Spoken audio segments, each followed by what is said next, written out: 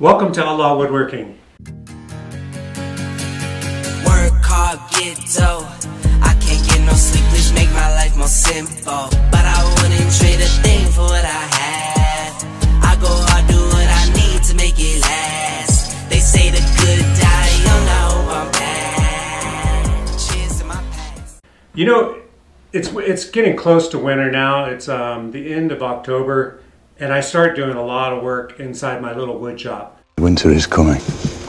During the springtime, I'm outside pretty much the whole spring. Um, I'll do a few little projects here and there, but during the winter, uh, I'm in my wood shop in my CNC and trying to make things and have a little fun, and and um, I really enjoy it. So um, after two years as a beginner, I still consider myself a beginner CNCer, but after two years, these are the 10 bits that I use the most and um, some of them I use more than others right now. Like right now, I'm in the middle of doing um, Christmas boxes, uh, 3D lids with with boxes for Christmas presents. Um, last year, it was all about um, cutting boards with epoxy inlays, and um, those were actually really popular. A lot of people liked those, and they, they made really good gifts.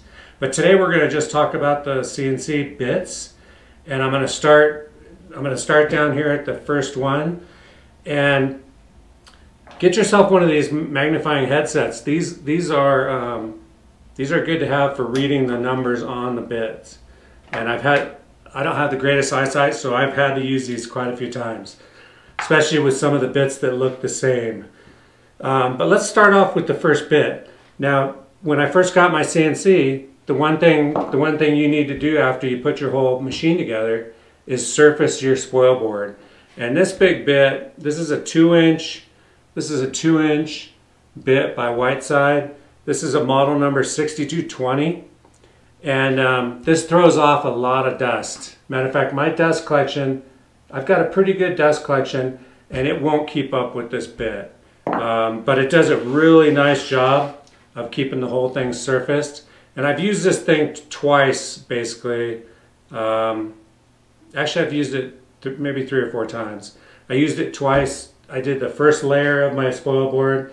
This right here is my second generation of the spoil board. And um, I also surfaced a few live edge slabs with this. But if I have my choice when I'm surfacing small material, I will use this 6210. So this big one is a two inch four winged 6220. And then you have this one right here, which is a three wing 6210. Now when I'm surfacing, you know, small things, I'll always surface it with this 6210 before. Now some of the first projects that I learned how to do as a beginner was V-carve. Matter of fact, this sign up here was the first thing I ever made, and it was the Avid CNC cycle start checklist. And that was the first thing I cut, and I cut it with this bit right here. This is a 1502 uh, V-carve bit. It's a 90 degree V-carve bit from Whiteside. And I've used this many times. Um, matter of fact, this is the main bit I use when I'm V-carving um, any letters or um, different signs. I'll use this V-carve bit. And um, I'll show you a little example of this V-carve bit in action. But it does it does quick work, and um, yeah, that's been a really good one. That was some of the first things I did was um, learning how to V-carve signs. And um, I had a lot of fun doing that. It was, it, was, uh, it was a lot of fun. So this is a 90 degree V-carve bit. Now a few times I've used this 60 degree and this, this 60 degree you can see it has a sharper point and the only thing about the 60 degree it does it can do more um, intricate little things but it also it can go a lot deeper so if you if you were to try to do you know a half inch wide you might be poking through some three quarter inch material. So you got to be careful. I, I, mostly use this one when I'm doing letters, um, but this is a really good bit too. And this is a, so this 60 degree bit is a 1550 by Whiteside.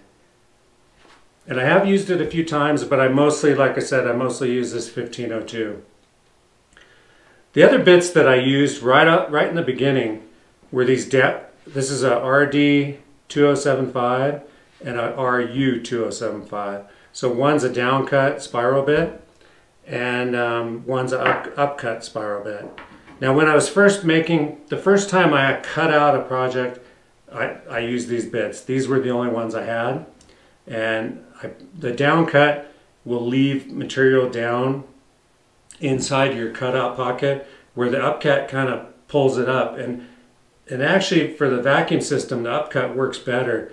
But what I found is sometimes with um, cheaper wood, softer wood, when you're using the upcut bit, you can you can splinter off some of the some of the stuff if you're because the bit's cutting and pulling upwards.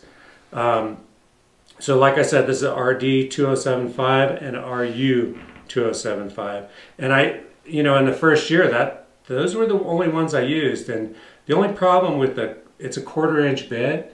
The only problem with it is um, you can't get into tight spots. So when I started doing a little more intricate stuff, um, where I was cutting pretty tight radiuses and stuff, that's where this bit came in. And this bit is actually by a Amana. This is a. um, put a picture of that one. I can't see that one either. But that's, this one is an eighth inch down cut um, Spektra spiral bit by a Amana. And I really started using it, I use this a lot. Uh, matter of fact, any of the parts that I've been cutting out lately, I'll use this bit because when I'm doing box joints, I can get right in there and, and, and I don't have to do anything and I can fit those joints together and they're really nice. The other bit that I use right here is a keyhole bit and this is a 1550 I believe. Let me make sure. No, I'm sorry. This is a 3050 by Whiteside keyhole bit. So you have most all these bits right here, this whole row up to here, are, are Whiteside bits. And like I said, this is a 3050. And I use this for doing, what I'll do is if I'm doing a sign or a picture that I have to hang on the wall, I'll flip it over and I'll put a couple keyhole slots in it. So I don't have to use any picture hanger material. I can just use this keyhole slot. And that works really well. The next bit that I used, now when in the very beginning, I did V-carve signs. I did um, epoxy inlays with the V-carve bit. I, I started surfacing my material almost all the time because what I found out even even early on doing the V-carve was if I surfaced my material, the V-carve would come out perfect. But if I didn't surface the material first, then if the material had any kind of like, if one side was uh, thicker than the other, and you you know you might not see it, but but as soon as you V-carve, you'll you'll see it. It'll show up. So I started always surfacing, but um, the next thing I started doing is um, I, I, wanted to learn how to 3D do 3D um, carvings, and they can take a long time. Um, I remember the first one I did. What was the first? Oh, the first one I did was a fish, and um, it was a lot of fun. And actually, here's one on the wall that I did. Um, that's a 3D fish of uh, um, kind of a San Juan River sign. And, and, you know, a lot of my friends are fishermen, so it was fun to make some signs and send them to them. And those were, those were good Christmas presents last year, too.